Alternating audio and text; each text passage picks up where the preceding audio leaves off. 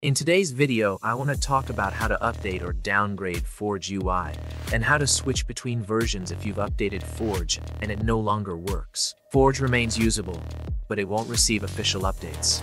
In the upcoming tutorials, I'll switch to Comfy UI, so this video might be the last one focusing on Forge. You can see in this announcement on Reddit that Forge will be transitioned into an experimental repository.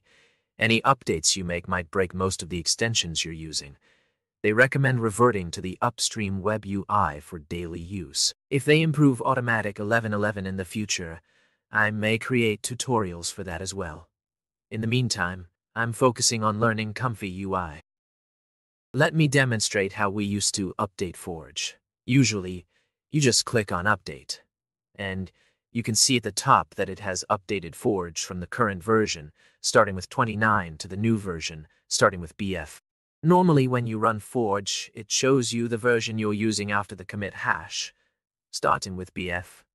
So, if you've updated by mistake and Forge isn't working anymore, let me show you what options you have. Navigate to the Web UI folder, then in the address bar type CMD and press enter. This will open the command window. Here you can type various commands. For example, if I type git log minus one and press enter, I can check the latest commit. As you can see here, it also shows the author and date, which can be quite useful. If I type git checkout followed by the version starting with 29, which is the stable version you can use, this will switch Forge to that version. If I check the log again to see which version I have, you can see it has now switched to that one. There is a community-maintained branch that it will be updated which you can try. If that doesn't work, you can switch back to the stable version starting with 29 that we know it works. The developer version is called dev2, so you can use the command git checkout dev2 to switch to that version.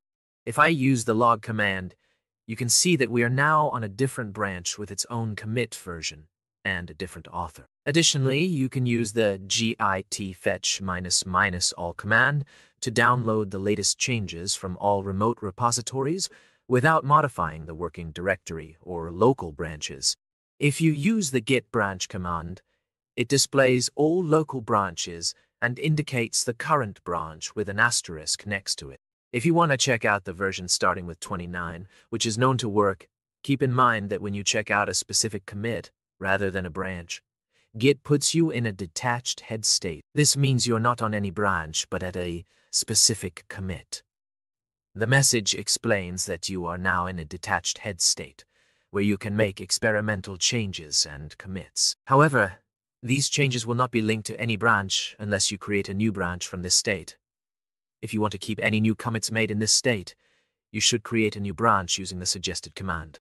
So I'll use that command and give the branch a name like Working Forge, which I can always switch to when needed. Now if I check with the log command, I can see that specific commit and using the branch command, you can see that I am now on that branch.